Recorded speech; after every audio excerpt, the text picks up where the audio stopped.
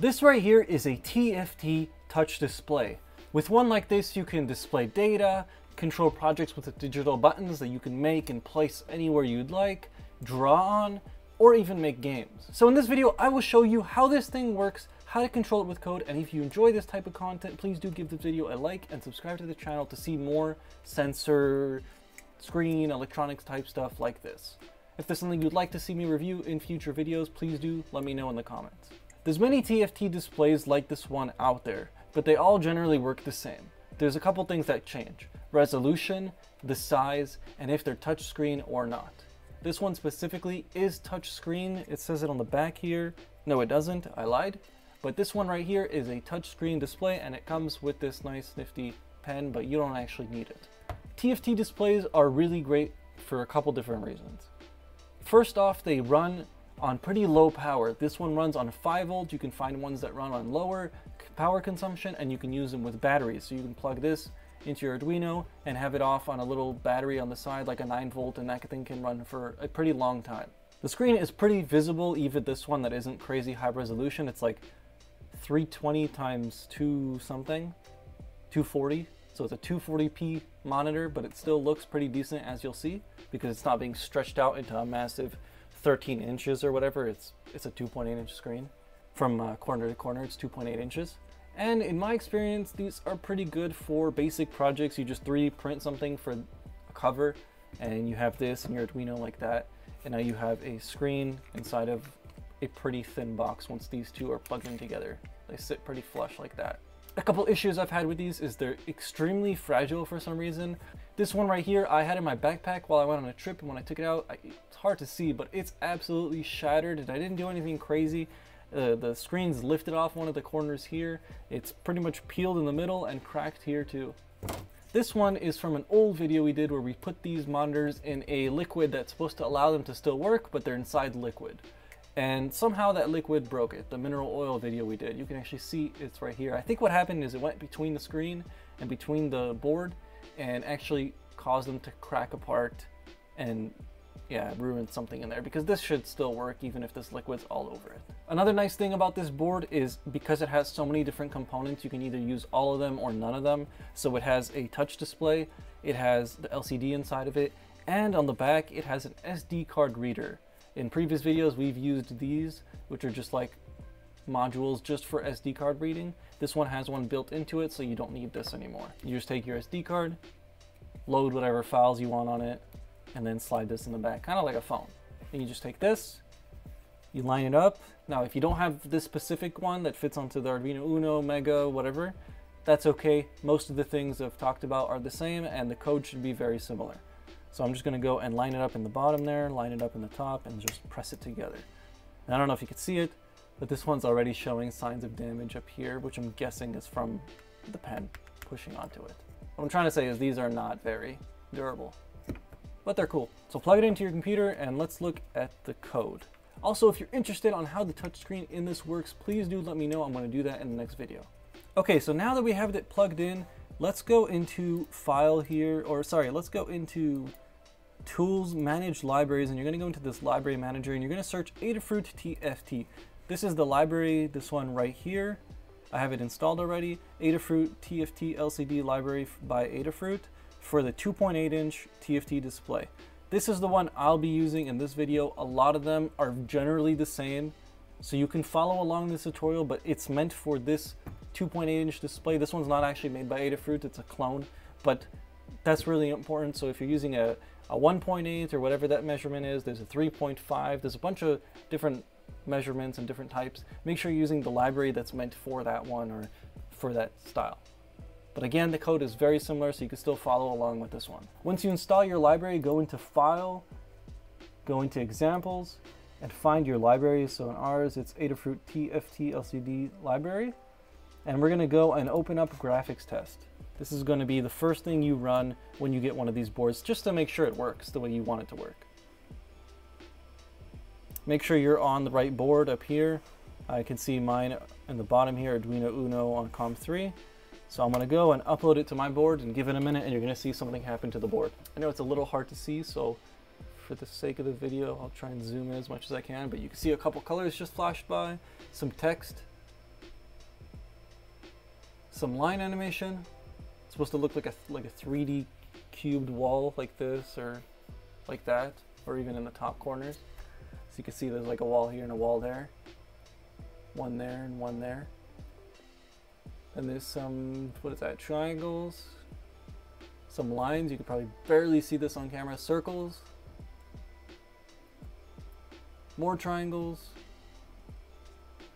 and at one point it should start looping back to the thing that we saw at the start. Anyways, this is a graphics test as the file describes. So it's just going to run through a bunch of different things that you can do with this board. Now the cool thing with this is we could look through the code and see how they wrote text or how they drew a triangle or how they drew a circle and we could just copy that and use it for our own project later on. So if you wanted a button, you just take the square code, paste it into your project and make that square a button by using their code. So it's pretty cool. It's a, it's a little file with everything you need to use this board. So on the top here, you can see there's the library declarations, there's pin declarations, there are different colors that they just simplified. Instead of you having to write this, you could just write the word black. Then they do this, which we do in every single video, every single project. You have to declare your TFT display using your library, and you have to give the pins that you're using and where they're located. So if we go up here, we can see the LCD CS A3, LCDCS. If you click on that, you can see it's defined as A3 right here. This is just a way of making things cleaner, but you can always just write A3, A2, A1, A0 into here if you wanted to.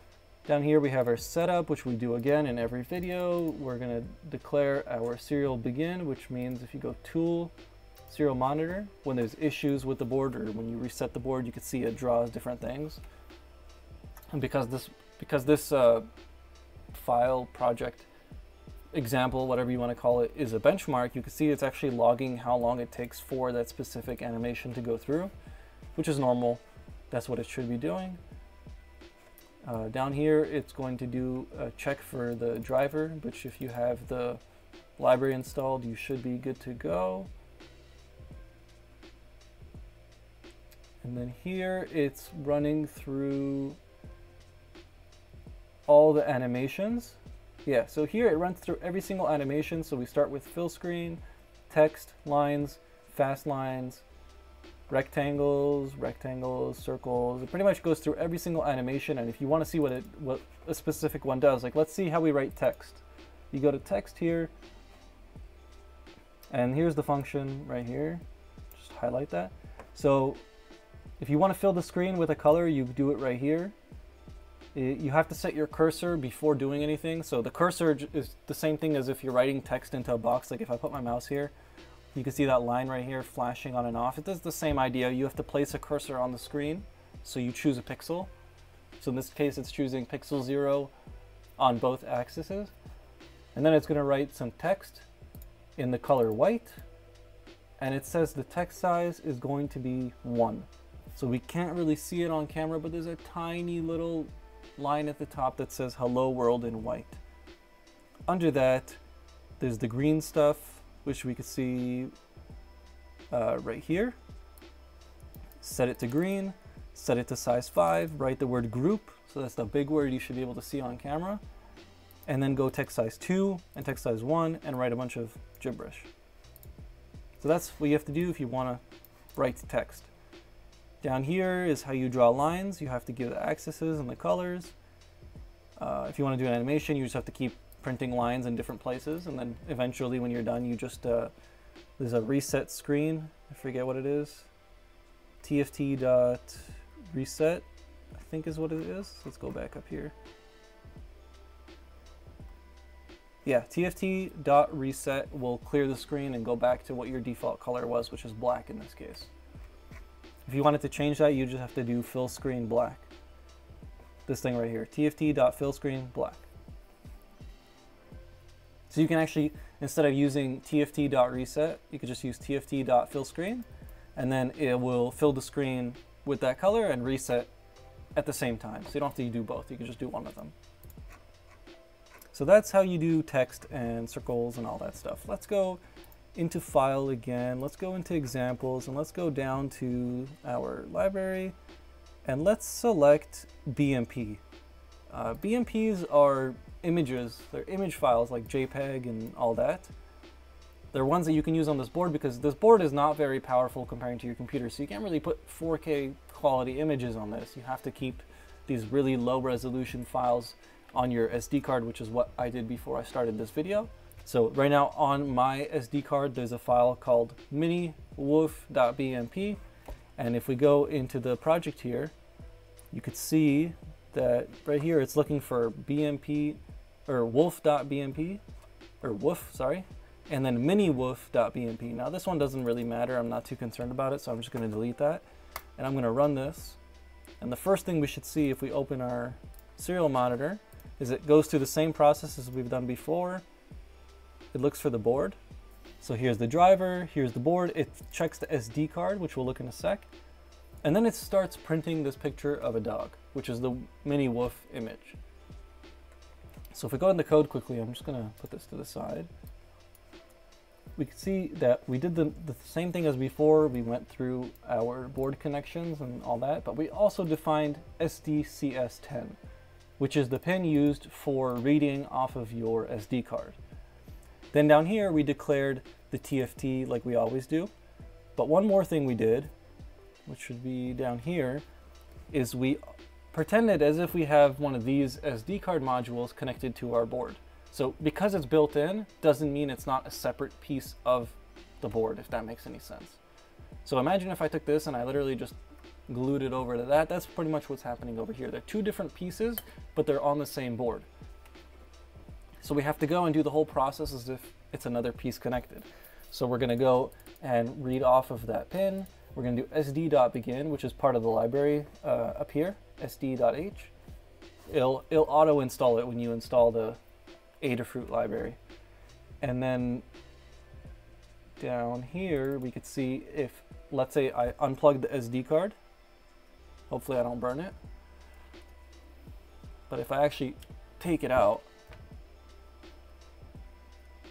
and reset the board. Let's clear this.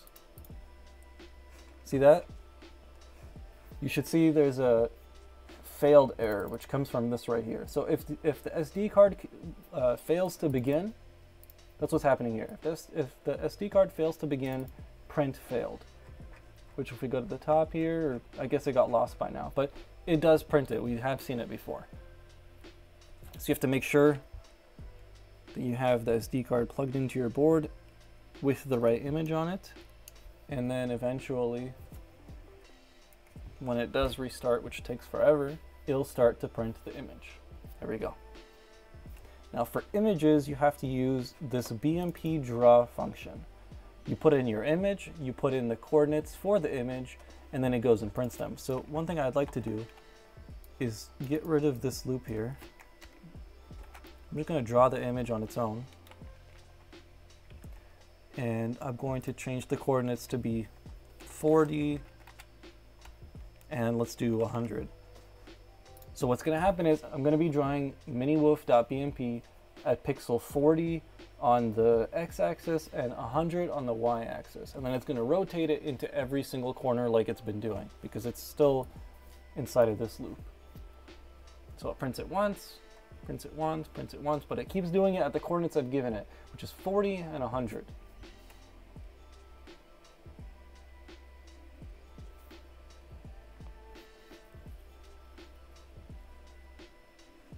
Then down here is the BMP draw function, which honestly I don't give any attention to because it does exactly what I'm asking it to do, so I just keep it on the side.